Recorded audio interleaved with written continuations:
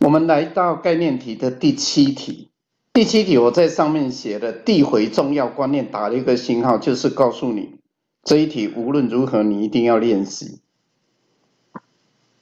因为一般的学生在学观念的时候，递回也是他学习的障碍之一。我说过嘛，双回圈是一个是一个障碍。有些人越过了，再来阵列是一个障碍，也越过了，然后地回就是一个障碍，地回能够越过的人不多了啦。那最后就是指标，那更少了。上题讲的是指标，这一题讲的就是地回。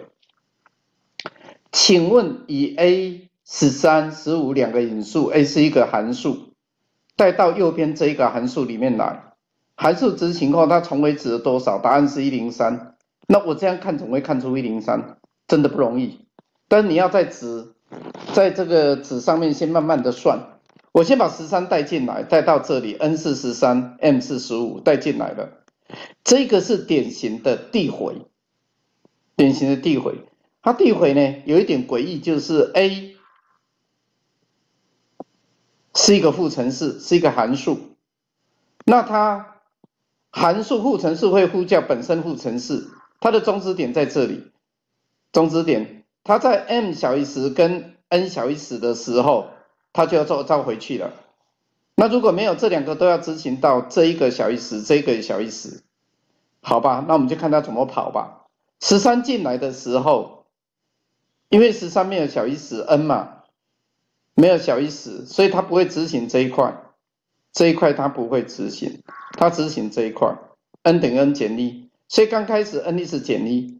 减到 n 小于十的时候，就掉到下面这一块来。如果 m 小于十，它才会回去。但是 m 没有小于十，那这时候 m 就要一直减二。所以程式一刚开始十三、十五进来的时候，它十三会先减一到十三、十二、十一、十到九了以后又跳回来这里再减二了，就十五再减减二变成十三、十一、九。那两个都是九的时候，它就递回了，它就回去了。这个就是，当然我现在是事后诸葛，因为我已经看过城市的执行了。但你必须要一马上看出来，这是要有一点功力的，这是一点功力。好，那我们来看一下，我们来看一下这个城市，左边是它题目上的 C 语言，把它转成 Python 语言的时候就是这样。好，这个是 a 的函数。好，a 的函数有两个因数 m 跟 n，拿 n 小于十才会走这一块护城市，m 小于十才会走这一块护城市。真正的终止点是 n 小于十，m 小于十，就两个都是九的时候，它就回去。他回的答案是十八，因为就九加九嘛是十八，所以他回去了。回去就一个一个回去，回到递先递出来再回。那这里有刚开始是 n 减一，各位有没有看到 n 减一是三、十二、十一、十？那这个做完了以后，再来是 m 会减二，十五、是三、十二、是三、十一、九就回去了。回去这个是十八，这是十八。好，那我们就执行它的程式，执行它的程式会变成看这个画面的解题是关键。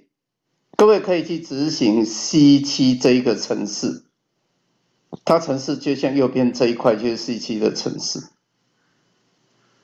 那我们的城市呢是这是刚才比对过了，这个城市它原始城市。那我们这样子可以追踪它的结果，追踪。那这个城市执行完了以后，它结果就是左边这个画面。左边这个画面，各位现在一看就可以理解了。它的程式大致上说，我把十三十五带到 a 这个函数，就 main 在这里嘛，那 main 十三十五就带进来了，带进来。那 a 十三十五带进来是一零三，a 如果十二十五是九十，a 如果十一十五是七十八，a 如果十是十十十五是六十七，a 如果是九十五就五十七，a 如果九十三就四十二，a 如果九十一就二十九。A 如果九九就是十八，那九九十八怎么来呢？九九十八怎么来？所以一零三它是由十八加十一等于二十九，二十九加十三等于四十二，四十二加十五等于五十七，五十七因为这时候减到上面来了，减到下面来了这一个，它刚开始执行这个程式嘛，这是先加十，再加十一，再加十二，再加十三，所以五十七加十是六十七，六七加十一就七十八，七十八加十二就九十，九十加十三就一零三，所以答案是一零三。这样讲是最精简，各位一定要自己思考。递回的意思就是十三十五会等于十二十五再加十三，好，那十二十五多少就等于这一个啊，十一十五等于多少就这一个啊，十十五多少就这一个，九十五多少就这一个，九十三是这一个，九十一是这一个，九九是这一个，所以这时候再回了，那九九就是十八，你把十八带到这里。十八加十一等于十八加十一等于二十九，它就一直回去的，一直回回回回到最后就是一零三。这一题是讲地回最适合的城市，请各位务必了解。